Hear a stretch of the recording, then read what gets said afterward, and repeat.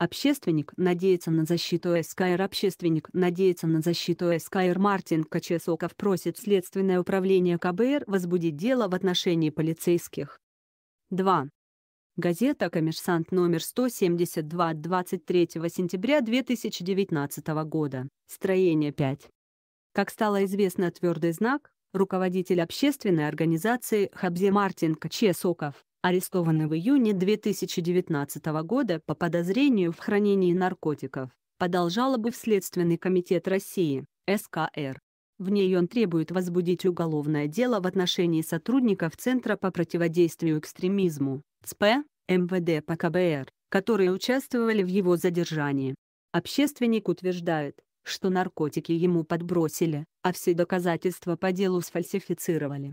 Адвокаты Мартина Качьесокова не сомневаются, что уголовное преследование в отношении их подзащитного связано не с мнимым наличием у него наркотических средств, а с его общественной деятельностью.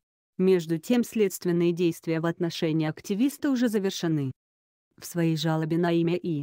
О. руководителя Следственного управления СКР ПКБ Ралима Бабаева Мартин Качейсоков напоминает, что 4 июля 2019 года уже обращался с заявлением о совершении сотрудниками ЦП МВД по КБР должностных преступлений, по которому была назначена доследственная проверка.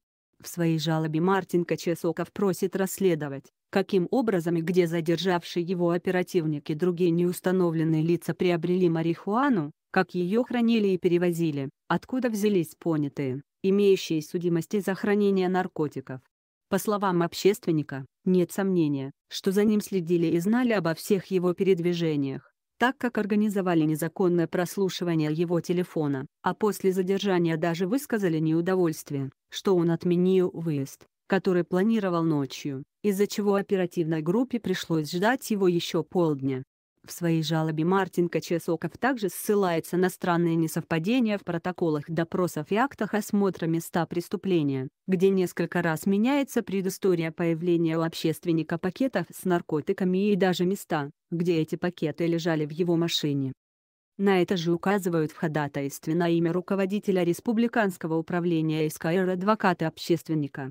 В частности, его защитник Людмила Качесокова уточняет, что, согласно первому протоколу допроса, ее подзащитный, сорвав коноплю на окраине села Урух в ноябре 2018 года, оставил ее на поле, а в июне 2019 года решил забрать для личного употребления.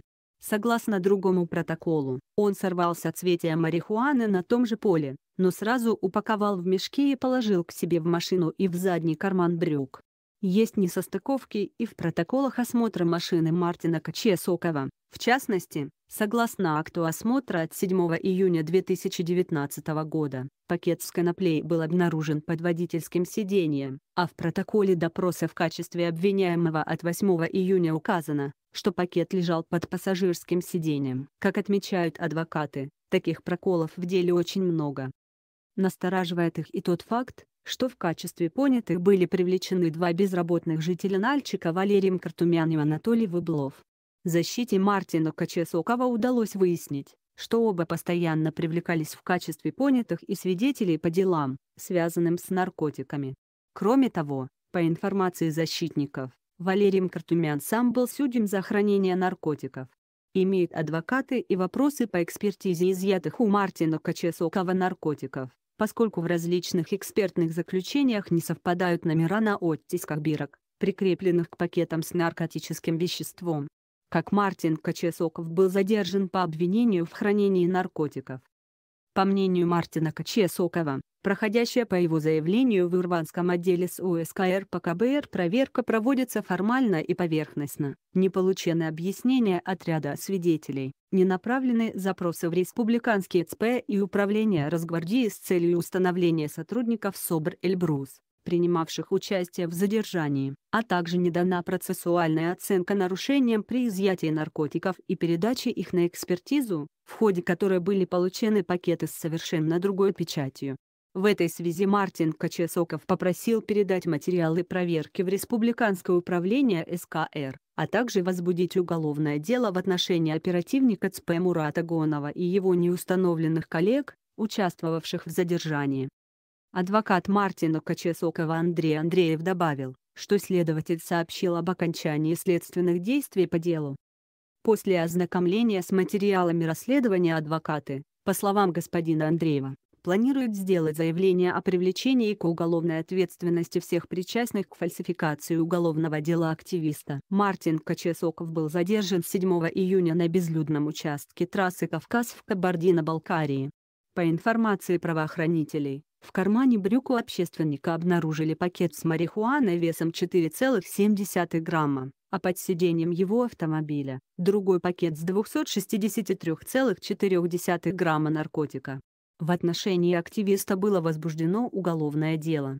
Лискенский райсуд арестовал его на два месяца, однако после вступления в дело адвокатов, в том числе от правозащитной организации «Мемориал», апелляционная инстанция Верховного суда, ВС, КБР перевела Мартина Кочесокова под домашний арест. Во время заседания ВС активист по видеосвязи рассказал, что после остановки его патрульной машиной ДПС к ним подъехали еще две «Лада Приора», из которых выскочили вооруженные люди в масках.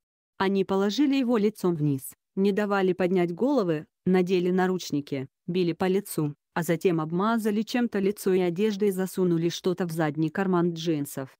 Чтобы решить вопрос цивилизованно, Мартину Качесокову предложили в присутствии понятых сообщить о наличии у него наркотиков, что он и сделал как Мартин Кочесоков вышел из СИЗа под домашний арест.